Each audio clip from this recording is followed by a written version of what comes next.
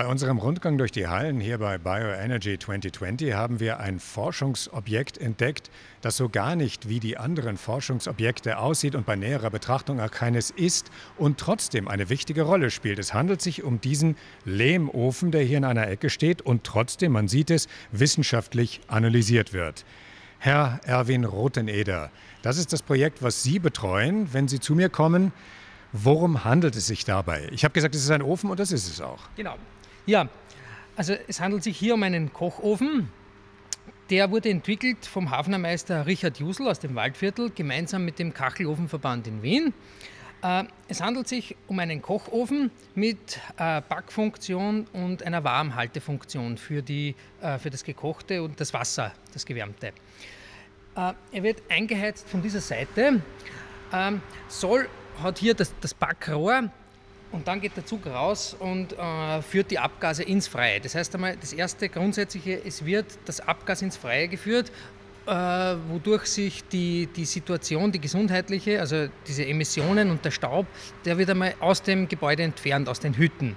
Und wir haben es ja mit einer Situation zu tun, in der oft in, auf offenen Feuerstellen gekocht wird, wo also dann eben diese Emissionen entstehen, die gesundheitsschädlich sind und wo wenig Energieeffizienz beim Verbrennen des Rohstoffs, zum Beispiel Holz, äh, dabei ist. Und genau darum geht es bei diesem Projekt. Genau. Es geht darum, dass das, das Holz meistens in, in afrikanische oder asiatische Länder sehr knapp ist, von weit her transportiert werden muss. Das ist meistens Arbeit der Frauen und Kinder.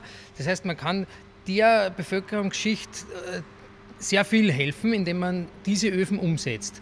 Er ist zu beheizen mit, mit, mit Abfallholz, mit kleinen Spreiseln, mit, mit eher minderwertigem Holz und hat eine sehr hohe Effizienz. Dadurch, dass die Brennkammer geschlossen ist, äh, erreicht man auch eine gute Verbrennung. Also im Vergleich zu diesen drei, zu diesen offenen Feuern oder diesen Dreisteinfeuern, äh, also eine, eine Ersparnis um sicher 70, 80 bis 90 Prozent. Und damit auch Schutz für die natürlichen Ressourcen, die ja sehr enden wollend in vielen dieser Länder sind. Genau. Also man, man schont dadurch die Ressourcen und, und setzt so diesen, diesen permanenten Abholzen ein Ende. Und so gesehen ist es ein, äh, ein, ein Projekt, das die Säulen, auf denen Bioenergy beruht, Nachhaltigkeit, Nachhaltigkeit äh, genau fördert. Genau.